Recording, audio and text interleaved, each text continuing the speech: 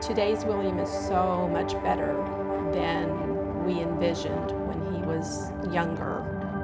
Behavior was an issue, temper tantrums, what I call a blind rage. It, it was rough. It was rough.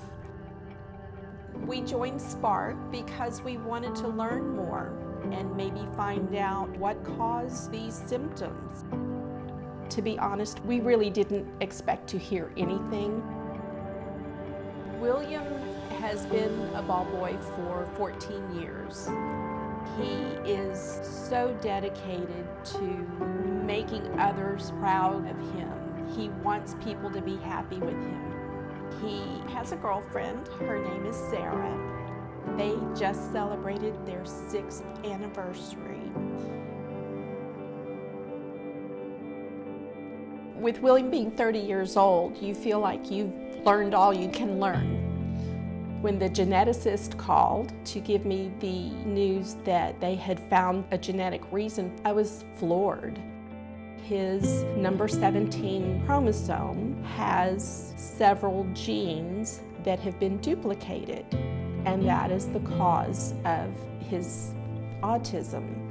It took such a weight physically off of my shoulders that I didn't know I had. Um, wondering if we had caused. Sorry.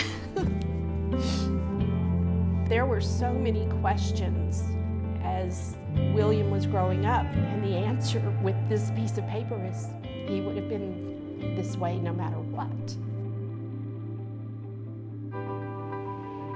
With this information, it opens the doors to a different path.